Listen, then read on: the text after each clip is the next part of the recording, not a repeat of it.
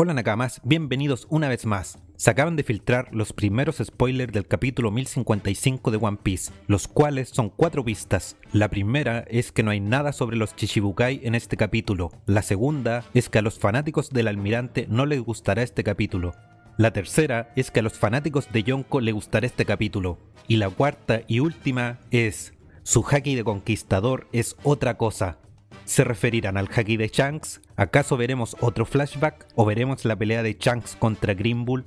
Hay muchas posibilidades. ¿Qué opinas tú, Nakama? Déjame tu opinión en los comentarios. Y recuerda dejar tu pulgar arriba y suscríbete para ver más videos de One Piece. Nos vemos en la próxima.